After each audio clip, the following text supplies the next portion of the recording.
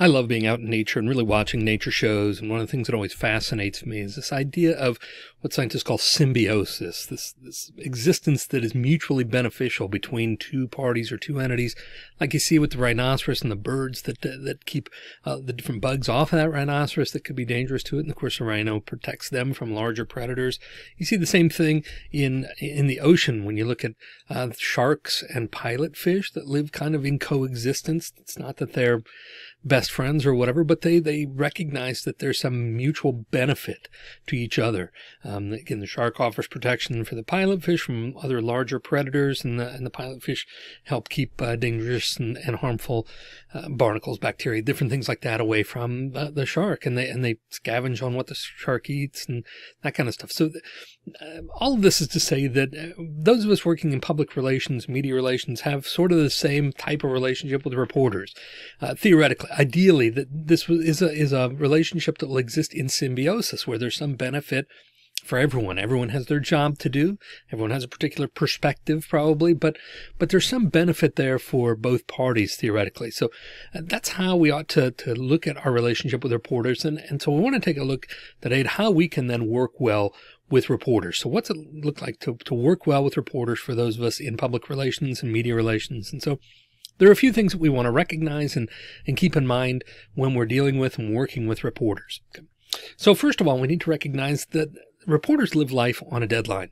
They have deadlines no matter what kind of media they're in. Those deadlines will be different, but they have a deadline. They have a specific time by which they need to complete their article or their, their report or whatever and be ready for that to go to publication, to go on air, to be, to be posted on their site or whatever. They live life on a deadline. So as media relations folks and public relations people, what can we do uh, about keeping that in mind? Well, first of all, we need to know what the outlet deadlines are. The various, again, they're going to be different.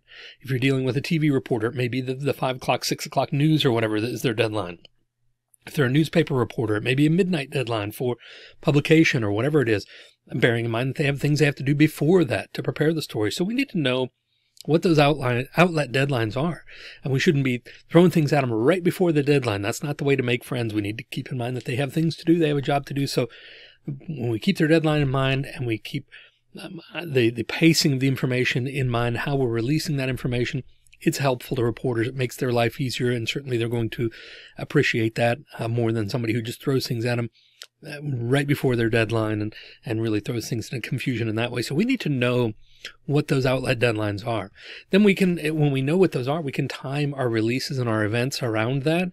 Um, and so we can, you know, if we know that there's a deadline for a publication, a, an outlet that we really want to hit, and they have a deadline for six o'clock that evening, then we don't want to schedule our press conference at six o'clock or even 5.30 or whatever. We want to schedule our release of that news or the news conference, the briefing, whatever we're going to do for a few hours before that, keeping in mind that that will give them time to um, digest that information, to write it up, to follow up whatever they need to do with other sources, to ask any questions that they might have, and still then put everything together in time for their deadline. So we should time releases and events in a way that, that helps um, reporters meet the deadlines as best as possible. That doesn't mean we're on the same deadline necessarily. We can make our own decisions, but we need to keep in mind that um, you, you, you, catch more flies with honey, right, than with vinegar. So we, we want to be as helpful as we can in those situations. So we'll time the releases and events that we have around maybe a, a deadline of a particularly important outlet. We can also take advantage of technology. Uh, technology, you know, email, text, those types of things can get information out immediately.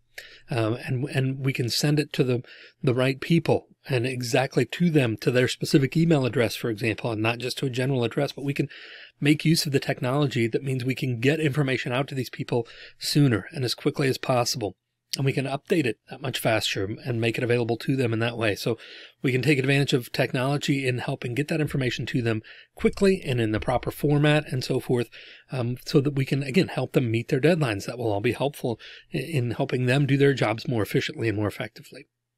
And we can remember that, that we need to be equitable. That doesn't mean equal, but we need to be equitable. We need to not be selective about, okay, I'm going to send it to this person three hours before I send it to somebody else because I like them better or whatever.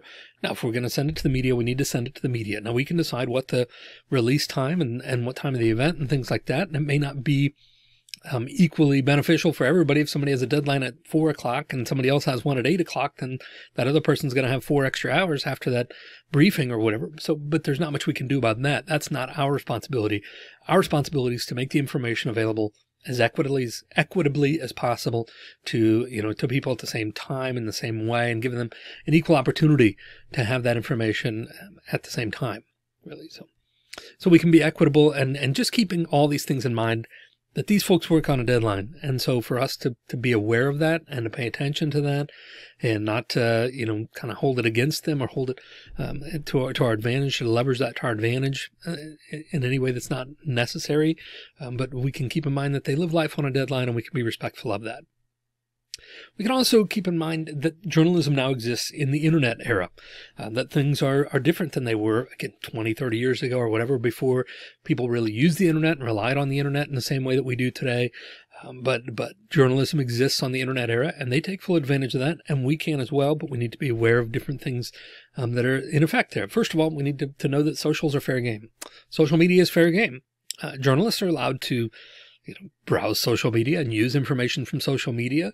Um, now we do need to be, we should be aware that the same standards apply for traditional journalists uh, in, regarding social media that they do for any other news source, um, that they would need to be verified and they shouldn't just grab anything off the internet. We know that not everything on the internet is reliable and journalists know that too. So they need to do their due diligence and follow up and find other sources in support of that, um, and that corroborate that information. But that's traditional journalists. Now you're talking citizen journalists. That's a totally different thing. We'll, we'll touch on that in a moment, but, uh, but the socials are fair game. If you put something on social media, then um, expect it to be, uh, you know, identified potentially as a news um, source and a news uh, outlet can use that information.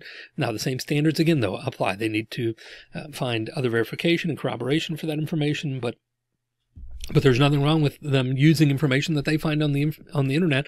So we need to be conscious that when we're putting information out, that it's information that we want out there. We can also do new reporters a huge favor by having a robust online newsroom with just the basics.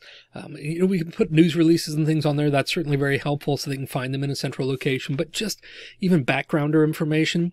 So information about the history of the organization and the, the, leadership and contacts for not only media relations, but if there are subject matter experts that we want to make available to them, we can have that information on there. Information about uh, any publicly disclosed financial information can be helpful. Just information where reporters can go to a central location to find all of this kind of uh, basic information, foundational information. So they don't have to track you down or track somebody down in your office. They can just go to this one spot in your online newsroom to find some of that basic information when they're trying to put together a story. Uh, the advantage is, of course, that's information you can control. You you control what's in your online newsroom and what's what's available to the public. But but it makes it so much easier, makes it much more convenient for a reporter just to be able to go there and get the information they need right away, rather than have to, you know, jump through a bunch of hoops to get one particular piece of information that's really just kind of basic standard stuff anyway. So use the online newsroom to your advantage, but also keep in mind that it's a huge convenience for um, reporters and, and can make their life a lot easier. Now I'd like to touch on some um, tips and and um, things to keep in mind when we're talking about interviews with reporters. Whether this is, you know, a newspaper reporter where it's not going to be video recorded and the person's not on camera or whatever, or if it is somebody who's on camera or whatever, there are some things we can keep in mind when we're thinking about how we're going to um, work well with reporters and with the media in these situations. First of all, we need to think about medium. Medium meaning the channel through which this is going to be communicated, or the medium, for example, of, you know, are we going to be better served by allowing interviews with newspapers or podcasts or, um, you know, TV crews or, or whatever? We need to be selective about the medium in the way that's going to allow us to best choose. Again, we go back to these media relations tools. You can refer to, to a previous video about media relations tools, but identifying what's going to uh, most help us achieve our goal in that situation and identify the medium or mediums, media that are going to um, best allow us to to do that. And we can make selections about interviews based on that and identify who we want to grant interviews to uh, regarding uh, you know, what kind of medium they use for, for that. We also need to think about interviewer prep. That can be very helpful. Now, we don't necessarily dictate what questions are going to be asked or things like that, but we can provide the interviewer with basic background information about the person they'll be interviewing. What are their credentials? What are their qualifications? What project are they working on? Are we talking about with this? And can we give them any information about that? Is there any um, organizational history or, or context that we can provide for them or for this program that they're interviewing somebody about? We can provide the interviewer with that information to make sure that they are uh, to help them be prepared for that interview and and again save them some time some energy. Now again they should do you know any quality reporter or interviewer will do their own work as well but they will gladly accept that information and review it uh, as they prepare for that interview so we can help them make those preparations easier by providing them with some information as well as preparing our own person, obviously, um, for that interview and preparing them for what questions might be asked and what topics may be um, on the table for that. We can also help reporters with any follow-up information. We can make ourselves available and say, great, uh, I'm glad, I hope things went well. Please, here's my number. Please let me know if there's uh, any further information that we can provide for you or any way we can be of assistance. Again, not trying to, to write the story or, or edit the interview for them, but just making ourselves available, trying to help make their job that much easier and following up with them on any information that we can provide and that when the interview may be released or published or, or aired or whatever it is. Finally, when it comes to interviews, we need to know when to say no we need to be able to identify based on all those things. Is this a medium that's not appropriate for us or for our uh, story? Or does this, is this not an audience we're really that interested in reaching? And so may not be a good investment of our time and energy to grant this interview or is this an interviewer that you know is just, you know, extremely confrontational? They're kind of a gotcha type interviewer and and it's not really going to be beneficial in the sense that you don't think there's anything quality that's going to come out of that uh, in terms of reaching your audience. Again, we, we need to make these decisions for ourselves. Reporters and, and media outlets are doing that on what interviews are going to be interest, interesting for their audience and determining who they're going to interview based on those factors. And we can make those same decisions. Is this an audience that we want to reach? If not, then again, maybe this isn't the best investment of our time and energy for this particular interview. So it's okay to say no. It's okay to say no if you just don't have enough information on what topic the person wants to talk about, to just decline and say, we're not prepared to, to do interviews on that, but we'll, we'll certainly be in touch if that time does come and, and, uh, and let you know uh, if there's an opportunity there. So we do have the ability to say no, and we shouldn't feel bad about that. If it's not going to serve our purpose, our organization, we have a vest, vested interest in that, and we don't have a, a moral obligation to say yes to every interview that comes along. So we need to identify when it's going to be appropriate to say no.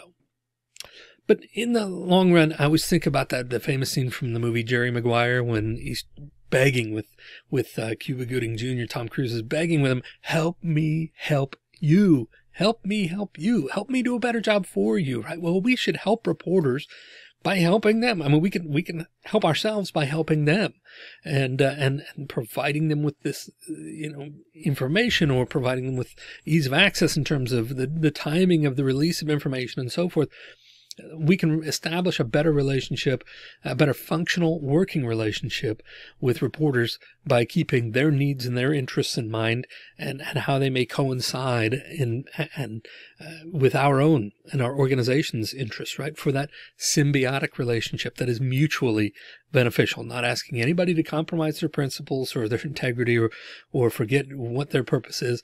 But, uh, but those times when those things can be mutually beneficial. Um, it works in the best interest of everyone, both the media relations, public relations people, and the reporters themselves and the media outlets.